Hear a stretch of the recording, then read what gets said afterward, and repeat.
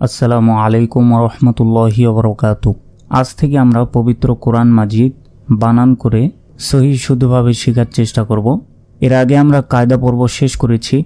যারা কায়দা পর্বগুলো এখনও শেষ করেননি, আমাদের চ্যানেলের ভেতর কোরআন মাজিদ শিক্ষার পূর্ণাঙ্গ কোর্স রয়েছে। তো আগে কায়দা পর্বটি শেষ করেছে, তারপরে এই পর্বগুলো করবেন। আর কায়দার অন্যান্য পর্বের লিঙ্কগুলো আমি ভিডিও ডিসক্রিপশন বক্সে দিয়ে রাখব। সেখান থেকে আপনারা দেখে নিতে পারেন। আজকের ক্লাসে আমি সুরা বাকারার এক থেকে পাঁচ আয়াত পর্যন্ত আপনাদেরকে বানান করে শেখানোর চেষ্টা করব। তো চলুন শুরু করা যাক।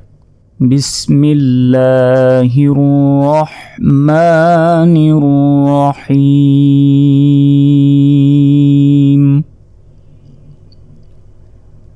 আলিফ লাম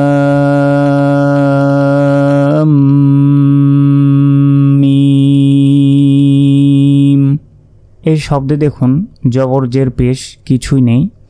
শুধু লামের উপর মোটা চিহ্ন রয়েছে এবং মিমের উপর মোটা চিহ্ন। এই শব্দগুলোকে হরফে মোকত্তআত বলা হয়।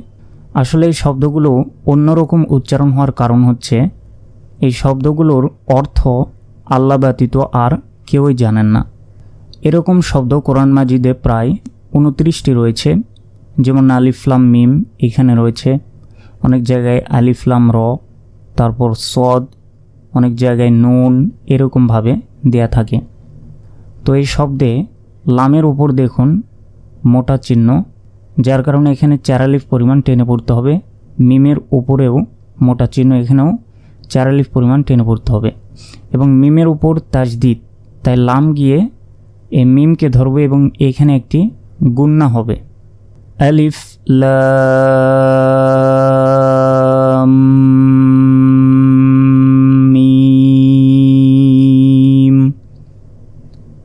আর এই গোল চিহ্ন এটা হচ্ছে ওয়াকফ, অর্থাৎ থামার স্থান। এরপর দেখুন, জাল খারা জবর জা খারা জবর থাকার কারণে একালিফ লাম জেল্লি জালি কাফ গিয়ে সরাসরি লামকে ধরবে, কারণ এই মাঝখানের আলিফের উপর জবরজের পেশ কিছু নেই। তাই কাফ গিয়ে সরাসরি লামকে ধরবে, কাফ লাম জবর কাল জালি কাল। কাবজের কি? তা খারা জবর। তা একালিফ বা। পেশবু কিতাবু। জালিকাল কিতাবু। এরপর লামালিফ জবর, লা একালিফ রয় আজবর রয়। লা, রয়, বা জবর, বা। লা, রয়, বা। এরপর এখানে দেখুন ওয়াকফের মতো দেখা যাচ্ছে। তো উপরে যদি তিনটি এরকম ফোটা থাকে, তাহলে পরেরটি তো ওয়াকফ করবেন। তো পরেরটি দেখুন, ফাইয়াজের ফি ফাইয়াজের ফি, হাজের হি, ফি, হি। এরপর দেখুন, এখানে ওয়াকফ করার একটি স্থান রয়েছে। তো এইখানে যদি আমরা ওয়াকফ করি, তাহলে বলতে হবে ফি তিনালিফ টান এবং এই হার পরে আমরা ওয়াকফ করেছি, সেজন্য হায়ের উপরে একটি সাকিন হিসাবে আমাদেরকে এটি উচ্চারণ করতে হবে। তাহলে ফি জালিকাল কিতাবুলা রয়বা ফি এক নিঃশ্বাসে এখন বলতে হবে জালিকাল কিতাবুলা রয়বা ফি এরপর লক্ষ্য করুন। হাফিস হু, দাল লাম জবর দাল। হুদাল দালের উপর দুই জবর থাকার পরেও, এর পরের অক্ষরে দেখুন, লামে তাজদিদ রয়েছে, তাই এখান থেকে একটি জবর বাদ যাবে। তাই দাল লাম জবর দাল এবং ইয়া বাদ যাওয়ার কারণটি হচ্ছে, ইয়ার উপর জবরজের পেশ কিছুই নেই। এখন বলতে পারেন যে ইয়া তাহলে দিয়েছে কেন? এটা আসলে অর্থের জন্য ইয়া দিয়েছে, কিন্তু উচ্চারণের সময় ইয়া অক্ষরটির উচ্চারণ বাদ যাবে। তাহলে দাল লাম জবর দাল হুদাল লাম লামজের লিল হুদাল লিল মিম তা পেশমুত তা জবর তা মুত্তা কফ ইয়াজের কি নুন জবর না মুত্তাকিনা।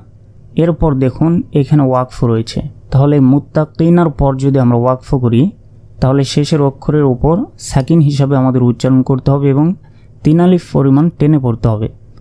মুত্তাকিন।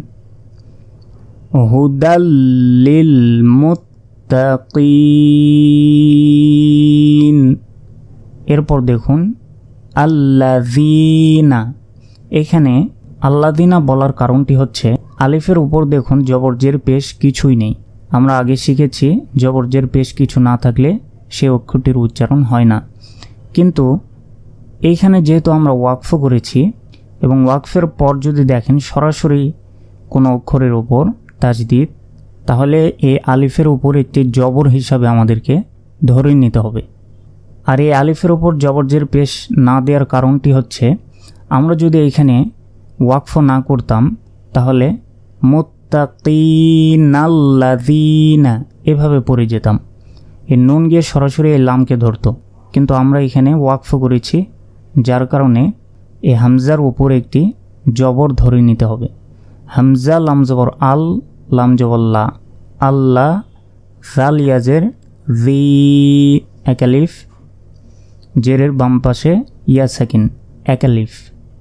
নুন জবর না আল্লাযীনা ইয়া হামজা পেশ, ইউ।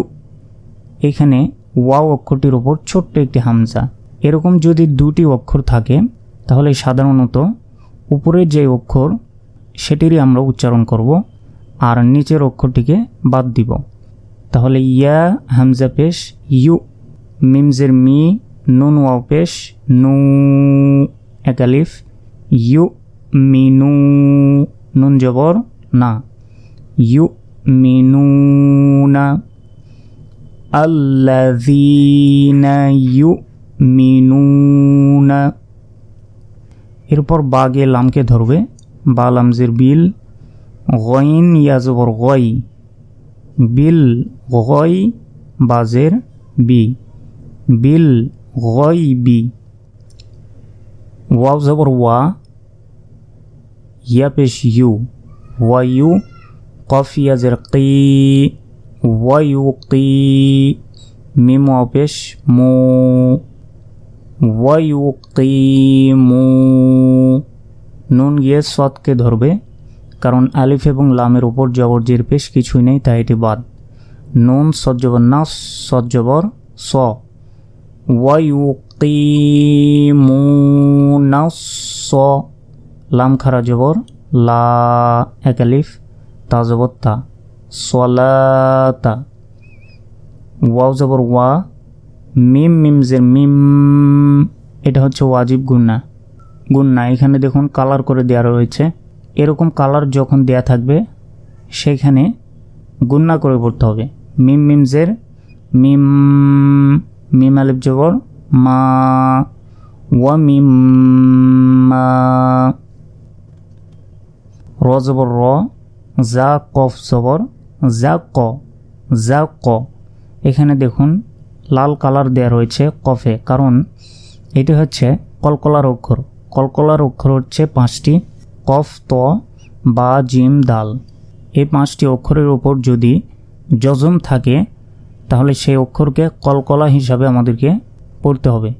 কলকলা করতে হলে সেই অক্ষরটিকে একটু ঝাঁকুনি দিয়ে করতে হবে এবং মোটা করে উচ্চারণ করতে হবে। অর্থাৎ এখানে একটি প্রতিধ্বনি হবে। যেমন, যা কব জবর, যা ক যা ক, যা কব জবর জাক নয়, যা কব জবর, যা ক যা ক। কফ ত বা জিম দাল এ পাঁচ হরফে যজম হইলে কলকলা করে পড়িতে হয়। তাহলে রজা ক নুন খারা জবর না, হাম ইমপেশ হুম। রজা ক না হুম। ইয়া, নুন পেশ, ইউ গুন্না কেন করলাম? কারণ নুন সেকেন্ডের পর দেখুন ফা অক্ষরটি এসেছে। ফা কিসের অক্ষর? ফা হচ্ছে ইকফার অক্ষর। তাহলে আমাদের গুন্নার সহিত পড়তে হবে। ইউং ফি কফ অপেশ কো একালিফ নুন জবন না ইউফিকুনা এরপর দেখুন এখানে ওয়াকফ রয়েছে। তাহলে শেষে আমাদের তিন আলিফ পরিমাণ টেনে পড়তে হবে এবং শেষের অক্ষরের ওপর সাকিন হিসাবে উচ্চারণ করতে হবে। ইউফিকুন তাহলে আয়টা আবার দেখুন আল্লাযীনা ইউমিনুনা বিল গায়বি ওয়া ইউকিমুনাস সালাতা ওয়া মিম্মা رزقناهم ينفقون এরপর ওয়াও লাম জবর, ওয়াল লাম জবর লা ওয়াল্লা জাল ইয়াজের জি ওয়াল্লাযী নুন জবর না ওয়াল্লাযীনা ইয়া হামজা পেশ, ইউ মিমজের মি, ইউ মি, নুন ওয়াপেশ নু, নুন জবর না, ইউ মিনুনা বাজের বি মিম আলিফ জবর মা এখানে তিন আলিফ টানার কারণ হচ্ছে মিম অক্ষরটির উপর দেখুন চিকন একটি চিহ্ন রয়েছে সে চিহ্ন থাকলে তিন আলিফ পরিমাণ টেনে পড়তে হবে তাহলে বিমা والذين يؤمنون بما হামজা নুন পেশ উ জাজের জি উ জি, নুন সাকিনের পর যা যা হচ্ছে ইকফার অক্ষর। তাহলে এখানে আমাদের গুণনা করে পড়তে হবে। জি, আর যেখানে ইকফার অক্ষর রয়েছে, এভাবে নীল কালার দিয়ে দাগিয়ে দেওয়া রয়েছে। এখানে দেখুন, ইউ, ফি, তারপর জি তারপর জি, এখানে আবার মিউ সবগুলোতে এই কালার দিয়ে দাগিয়ে দেওয়া রয়েছে। আর যেগুলোতে লাল চিহ্ন দেওয়া রয়েছে, সেগুলো হচ্ছে কলকলা। অর্থাৎ প্রতিধ্বনি হিসাবে আমাদেরকে সেগুলো উচ্চারণ করতে হবে। তো দেখুন, হামজা নুন পেশ উ জাজের জি উ জি, লাম জবল্লা উং জিলা হামজাজের ই, লাম ইয়াজবল লাই। ইলাই কাবজবর কা। ইলাই, কা ওয়াও জবর ওয়া, মিম আলিফ জবর, মা তিন আলিফ, কারণ ওপরে চিকন চিহ্ন রয়েছে। ওয়ামা এরপর হামজা নুন পেশ উং জাজের জি, নুন সেকিনের পর ইকফার অক্ষর যা উং জি, লাম জবল্লা উং জিলা এরপর মিম নঞ্জের মিউ, কফ বাজবর কব। কলকলার অক্ষর কয়টি? কলকলার অক্ষর পাঁচটি। কফ, ত, বা জিম দাল এই পাঁচ অক্ষরের ওপর যজম হইলে সে অক্ষরকে কলকলা করে পড়তে হয়। অর্থাৎ প্রতিধ্বনির মতো উচ্চারণ হবে সেই অক্ষরটি। কফ বাজবর কব কব। কব বাজবর কব নয় কিন্তু। কব বাজবর কব কব। মিউ, কব। লামজের লি কাব জবর কা মিউ কব লিকা এখানে দেখুন ছোট্ট একটি জিম। অর্থাৎ এখানে আমরা ওয়াকফ করতে পারি। তাহলে ওয়াকফ করলে শেষ অক্ষরে সেকেন্ড হিসাবে উচ্চারণ করতে হবে। মিং কব লিক। তারপর ওয়া জবর ওয়া, বা লামজের বিল। ওয়া বিল, হামজা, খারা জবর আ। ওয়া বিল আ খজের খি র জবর র তাজের তি ওয়া বিল আ খেরতি হামিম পেশ হুম ইয়া ওয়াও পেশ ইউ হুম ইউ কবজের কি নুন ওয়াও পেশ নু কিনু নুন জবন না কিনু না এখানে নু এক আলিফ কিন্তু আমরা যদি মদের হরফের পরের অক্ষরে ওয়াকফ করি তাহলে আমাদের তিন আলিফ পরিমাণ টেনে পড়তে হবে ইউ কিনুন وبالآخرة هم يوقنون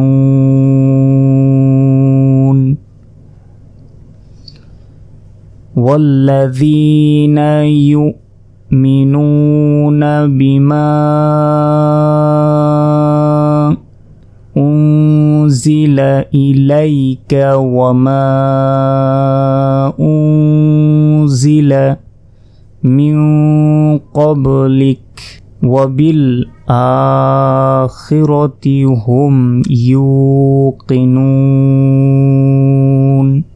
এরপর দেখুন হামজা পেশ উ লাম খারা জবর, লা